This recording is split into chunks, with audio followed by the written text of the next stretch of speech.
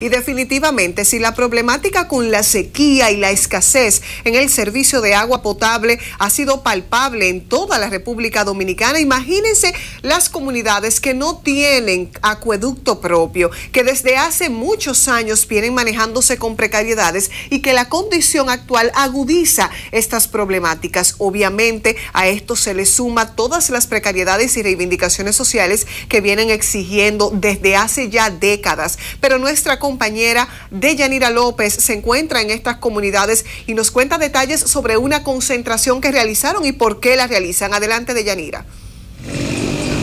Saludos, muchas gracias. Así es, cada día son más las comunidades que se suman al problema del servicio de agua potable. El Distrito Municipal de La Canela no es la excepción. Los comunitarios realizaron un piquete exigiendo al presidente Medina que cumpla con la promesa de construcción de un acueducto que a inicios de su gobierno se comprometió. A este reclamo se suman un sinnúmero de servicios y obras sociales. Aquí estamos huérfanos de agua. Aquí estamos pasando precariamente. Usted sabe que el agua es vida y que si no tenemos agua, estamos totalmente muertos. No tenemos agua potable. El agua potable que tenemos tenemos que comprarla.